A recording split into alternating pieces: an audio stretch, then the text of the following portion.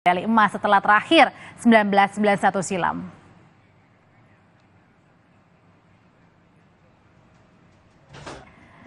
Pelatih Garuda Muda Indra Safri, saudara berharap momentum masuk final ini bisa kembali membangkitkan gairah sepak bola tanah air. Indra juga menambahkan, tim asuhannya siap menghadapi siapa pun lawannya selama kondisi mental dan fisik terjaga dengan baik. Kita tidak jadi menjadi tuan rumah dunia dan saya berharap uh, momentum SEA ini menjadi momentum kebangkitan untuk nanti kalau memang kami ditakdirkan bisa menjadi yang terbaik di SEA ini seperti yang disampaikan tadi mudah-mudahan ini bisa menjadi penyemangat ya menjadi momentum untuk uh, PSSI atau untuk sepak bola Indonesia. Sementara orang tua Rizky Ridho, Kapten Timnas U22 berharap Timnas Garuda Muda bisa meraih emas dalam laga final SEA Games besok. Ayah Rizky Ridho mengatakan dirinya kerap berkomunikasi dengan sang anak saat waktu luang selama gelaran SEA Games untuk memberikan semangat. Akan selalu mendukung dan mendoakan yang terbaik untuk timnas U22. Enggak dia masih tentu, ya Bali yang berikutnya. Kita lihat berdasarkan catatan perjalanan SEA Games, timnas sepak bola Indonesia baru dua kali ini meraih medali emas yaitu pada ajang SEA Games di tahun 1987 dan 1991. Sementara untuk timnas sepak bola Thailand sudah 16 kali meraih juara dan bawa pulang medali emas dan beberapa di antaranya ada pada ajang SEA Games di tahun 1965, 1983 dan juga 2001 dan yang terakhir ada di tahun 2017.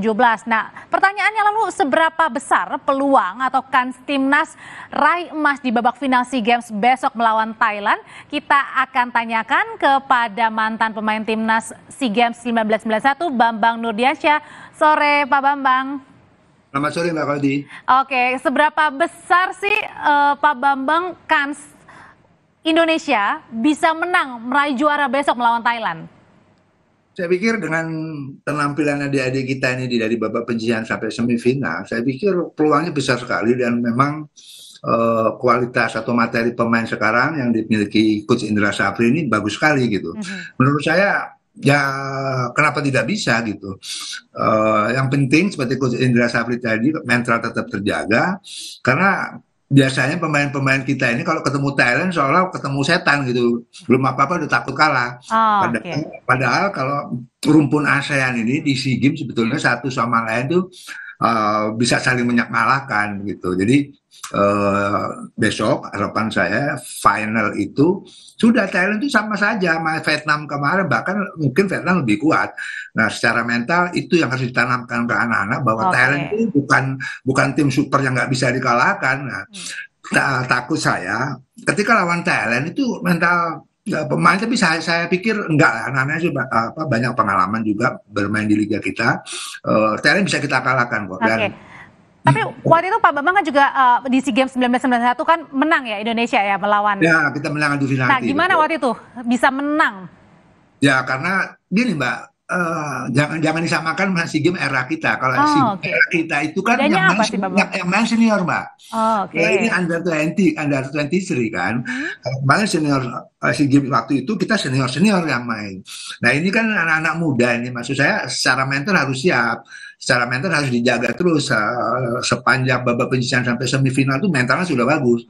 Ya, tapi sampai besok di final tetap dijaga itu mentalnya bahwa Thailand bukan siapa-siapa, bisa kita kalahkan kok gitu. Termasuk juga dengan mentalnya yang sudah teruji pada saat kemarin ya di semifinal betul, melawan betul. Uh, Vietnam. Betul, betul sekali, betul sekali itu harus dijaga terus bahkan uh, lawan Thailand karena final harus ditingkatkan hmm. secara mental. Sekali lagi saya ingatkan bahwa rumpun ASEAN ini sebetulnya satu sama lain bisa saling mengalahkan tergantung persiapan yang bagus, materi yang uh, bermain saat ini. Kita pemain kita bagus sekali yang dimiliki ikut Indra Safri ini uh, materi tahun ini, si game tahun ini saya pikir bagus sekali. Tapi selain fisik yang bagus, apa sih sebenarnya yang paling dan harus diwaspadai melawan uh, final besok melawan Thailand, Pak? Ya, ya, saya, saya pikir kita tahu semua bahwa tim rata-rata mau Vietnam, mau Thailand itu walaupun usia muda itu cara mainnya dewasa sekali mereka sabar gitu kan uh, dan mereka bisa apa namanya keluar dari tekanan. Nah itu pemain kita juga harus begitu gitu. Jangan buru-buru juga kalau Thailand mungkin nanti agak rapat pertahanannya, yang gampang bola juga kita harus sabar juga.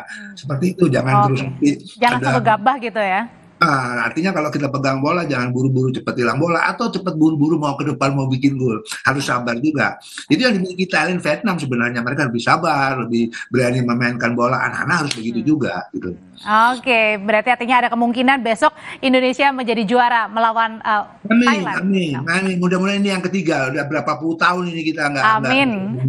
Amin. Kita doakan doa dari Pak Bambang, doa saya dan doa seluruh Indonesia juga. Baik. Terima kasih mantan pemain timnas SEA Games 1991 Pak Bambang Nurdiansyah. Setelah ini saudara kami punya informasi lainnya hanya di Kompas Petang kebakaran rumah di Keramat Jati, Jakarta Timur. Satu lansia ditemukan meninggal dunia.